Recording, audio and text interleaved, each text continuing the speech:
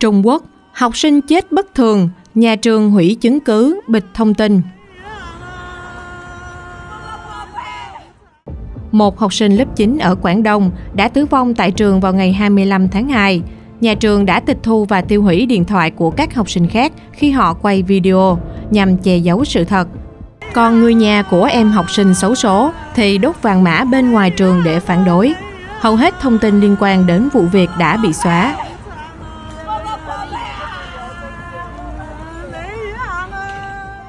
Ngày 29 tháng 2, tài khoản Thi Hòa Viễn Phương trên mạng xã hội X đã đăng một video và hai ảnh chụp màn hình cho biết, vào ngày 28 tháng 2, trên mạng đưa tin rằng một học sinh của trường trung học cơ sở số 1 Châu Tâm ở Thanh Viễn, Quảng Đông đã rơi từ trên lầu xuống đất tử vong. Ảnh chụp màn hình cho thấy, người mẹ nói rằng con gái bà là Lý Duệ Hàm, học lớp 9, vào trường lúc 19 giờ 4 phút ngày 25 tháng 2 và rơi từ tầng 5 của tòa nhà giảng dạy xuống đất tử vong lúc 19 giờ 12. Tuy nhiên, giáo viên nói với phụ huynh từ 7 giờ 28 phút đến 7 giờ 36 phút tối rằng đứa trẻ chưa bao giờ quay lại trường và chọn cách che giấu sự thật thay vì thông báo ngay cho phụ huynh. Người mẹ kể, Tôi thấy hoảng sợ nên chạy đến trường xem chuyện gì xảy ra. Khi đến trường thì thấy công an đã đến, nhưng nhà trường không cho phụ huynh vào, chủ nhiệm lớp cũng không nghe điện thoại. Sau khi người mẹ nhất quyết đòi vào trường thì con gái đã nằm trên sàn xi măng lạnh lẽo ở tầng dưới của tòa nhà giảng dạy. Phụ huynh yêu cầu xem camera giám sát, nhưng nhà trường chỉ cho xem những cảnh phù hợp. Trong một ảnh chụp màn hình khác, một người được cho là người trong cuộc khẳng định, tôi đến từ trường này, có 12 học sinh lưu trữ video ghi lại cảnh học sinh này nhảy khỏi tòa nhà trên điện thoại di động, nhưng đã bị nhà trường tịch thu và tiêu hủy. Họ nói sẽ bồi thường cho các học sinh này những chiếc điện thoại mới. Nếu những học sinh này không giao điện thoại ra thì sẽ bị đuổi học hoặc bị phạt, đồng thời yêu cầu các học sinh ký tên vào một thỏa thuận bảo mật. Ngoài ra, còn có ảnh chụp màn hình được đăng tải trên mạng cho thấy lý do cô gái nhảy khỏi tòa nhà là do bị bạo lực học đường, cũng có tin đồn bị cưỡng hiếp. Bạn tốt của tôi học tại trường này ở Quảng Đông, tất cả những điều trên đều là sự thật. Tờ báo Đại lục Người quan sát đưa tin, nhóm công tác chung của quận Thanh Thành, Thành Viễn, Quảng Đông đã đưa ra báo cáo tình hình vào ngày 28. Một học sinh rơi từ tòa nhà tại trường trung học cơ sở số 1 Chu Tâm, quận Thanh Thành. Người chết trèo qua lan can hành lang của tòa nhà trường học và rơi xuống tử vong. Trong thời gian này, bé gái không tiếp xúc với người khác nên loại trừ khả năng giết người. Đáp lại, nhiều cư dân mạng bày tỏ sự phẫn nộ. Đây là trường học hay âm phủ? Mũ ô sa của người đứng đầu quan trọng hơn mạng người hay sao? Bất kể chuyện gì cũng che đậy trước rồi mới nói sau. Ở Trung Quốc, khi xảy ra thảm họa, bước đầu tiên không phải là cứu trợ nạn nhân, mà là điều tra xem ai đã chụp bức ảnh này và đe dọa họ nhanh chóng xóa đi, nếu không sẽ ảnh hưởng đến ba đời. Tịch thu điện thoại di động và tiêu hủy bằng chứng là tội ác. Nếu bất ngờ nhảy lầu thì tại sao phải tiêu hủy bằng chứng? Tiêu hủy bằng chứng chứng tỏ đó không phải là một tai nạn. Tiêu hủy bằng chứng là một mánh khóe phổ biến của Đảng Cộng sản Trung Quốc sử dụng.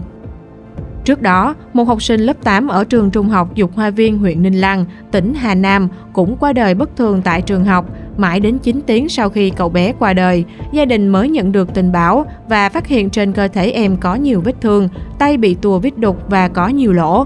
Người nhà đặt câu hỏi, phải chăng em đã bị trà tấn đến chết? Thế nhưng nhà trường và chính quyền lại tuyên bố cậu bé chết do nhảy lầu tự tử. Ở Trung Quốc, nạn bạo hành học đường rất phổ biến. Một nghiên cứu từ Đại học Sư phạm Hoa Trung ở Vũ Hán cho thấy khoảng 1 phần 3 trong số 10.000 học sinh từ 6 tỉnh từng bị bắt nạt. Trong nhóm đó, 45% chọn giữ bí mật, chỉ khoảng 25% trong độ tuổi 6 đến 18 nói rằng sẽ báo với giáo viên hoặc phụ huynh. Tuyên bố vô lý này đã khiến dư luận phẫn nộ, hàng chục ngàn người dân đã đến biểu tình trước cổng trường để phản đối và đòi công lý cho cậu bé. Người dùng mạng X Joan Hill đã đăng ba ảnh chụp màn hình cuộc trò chuyện tiết lộ về nguyên nhân cái chết của cậu bé. Con nhà tôi về nhà kể rằng họ bắt đứa trẻ lên tầng trên đứng đó suốt đêm. Đứa trẻ bị giáo viên đánh chết ở trong ký túc xá, cổ và hai chân bị gãy, phần thân dưới bị đá. Đứa trẻ đau đớn đến chết và được đưa thẳng đến nhà xác mà không được cứu. Họ nói với bố mẹ đứa trẻ rằng nó bị bệnh. Ngoài ra còn có một ảnh chụp màn hình cho thấy tin nhắn được chuyển tiếp bởi thầy tỉnh dạy vẽ cho biết để trốn tránh trách nhiệm, nhà trường sợ phụ huynh biết sự thật, đợi đến khi đứa trẻ bị thương gần chết mới báo cho phụ huynh. Trước đó, cháu từng bị giáo viên đánh một lần, hiệu trưởng và giáo viên phải bị trừng phạt nghiêm khắc. Chính quyền vẫn còn ở đó để tẩy trắng vụ việc, lấy lý do nhảy lầu để đánh lạc hướng. Phụ huynh đã sớm xem và thấy cửa sổ đã đóng hết, làm sao có thể nhảy, thật mờ ám, trường học ma quỷ. Đêm ngày 23 tháng 12 năm 2023, tất cả học sinh không được phép về ký túc xá ngủ mà đều ngủ trong phòng học. Các giáo viên, hiệu trưởng, học sinh đứng đầu trường đã dành cả đêm để giết đứa trẻ này. Vụ việc này đã dẫn đến cuộc biểu tình quy mô lớn diễn ra ở Thương Khâu, Hà Nam. Đông đảo cảnh sát có mặt và xảy ra xung đột với người dân. Những người biểu tình hồ vàng đã đảo đảng Cộng sản, lật đổ Tập Cận Bình, tự do muôn năm. Những ngày sau, rất đông cảnh sát đã đến duy trì ổn định. Người dân tiếp tục kéo đến trụ sở chính quyền để đòi sự thật. Chính quyền đã khẩn trương huy động lượng lớn cảnh sát từ nhiều nơi đến trấn áp. Toàn thành phố từng có thời điểm cảnh sát bắt giữ người khắp nơi. Ở Trung Quốc, nạn bạo hành học sinh rất phổ biến. Những cảnh giáo viên hành hung các em ngay tại lớp học luôn luôn hiện diện. Gần đây nhất là vụ một giáo viên nữ ở Hồ Nam liên tục đánh mắng học sinh của mình. Cụ thể vào ngày 28 tháng 2, đoạn video ghi lại cảnh một nữ giáo viên đánh và mắng một học sinh trong phòng học ở Hồ Nam đã bị tung lên mạng. Nữ giáo viên mặc áo khoác màu nâu đang ngồi ở bàn làm việc. Một cô bé đến nộp bài tập. Cô giáo thấy bài tập có sai sót, liền mắng mỏ, tát vào mặt cô bé, rồi nắm tóc bé gái lắc tới lắc lui. Đứa trẻ sợ hãi đến mức bật khóc, nhưng cô giáo lại tỏ ra thờ ơ và thiếu kiên nhẫn.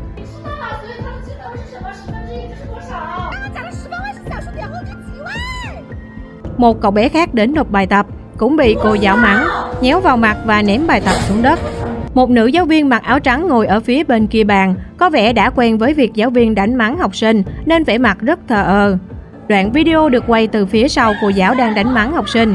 Người quay video có lẽ là một giáo viên khác trong phòng. Toàn bộ video tràn ngập tiếng hét của nữ giáo viên. Sau khi video nữ giáo viên đánh mắng học sinh bị lộ, vụ việc ngay lập tức thu hút sự chú ý. Một cư dân mạng biết chuyện tiết lộ, ngôi trường liên quan là trường Kim Tuyền ở thị trấn Lật Sơn, thành phố Tương Hương. Nữ giáo viên đánh mắng học sinh là giáo viên toán, giáo viên mặc đồ trắng trong video là giáo viên văn, kim chủ nhiệm lớp. Bé gái bị đánh, mắng là học sinh lớp 6. Cư dân mạng phẫn nộ lên án hành động của cô giáo. Trẻ em ở đó để được giáo dục, chứ không phải để bị hành hạ. Một chút tình yêu thương cũng không có, thì làm sao có thể làm giáo viên? Nữ giáo viên giống như một kẻ mất trí, nhanh chóng dọn sạch đội ngũ giảng giáo viên này đi, đừng làm hại bọn trẻ. Điều này khiến tôi tức giận. Cụ giáo viên tiếng Anh tiểu học của chúng tôi cũng từng như vậy. Nếu không thích nghề này đến vậy, thì tại sao lại muốn làm giáo viên? Bây giờ Internet phát triển như vậy, giáo viên thật sự có thể một tay che trời sao? Không có đạo đức nhà giáo. Sau sự việc, giáo viên quay video được cho đã bị giáo viên liên quan và nhà trường uy hiếp. Ảnh chụp màn hình cuộc trò chuyện được đăng lên mạng cho thấy nữ giáo viên đánh mắng học sinh đã đe dọa cô giáo họ bàn, người đã quay video và yêu cầu cô xóa video, đồng thời ngừng can thiệp vào việc riêng của người khác. Tin nhắn có đoạn, nếu cô đắc tội với tôi và hiệu trưởng, cô sẽ không thể tồn tại trong nghề dạy học.